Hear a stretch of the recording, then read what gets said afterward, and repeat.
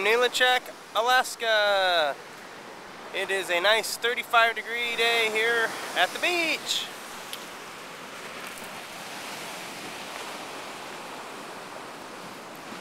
I'm looking for shells.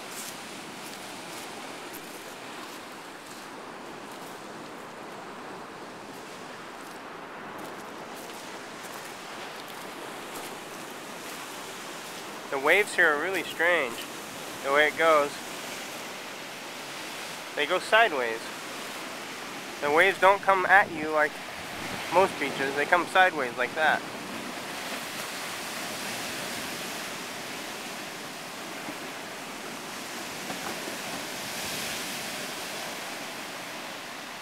Really strong ocean out here. Just across the water, might be hard to tell in this video, but you can see the ring of fire, all the very large volcanoes in the distance.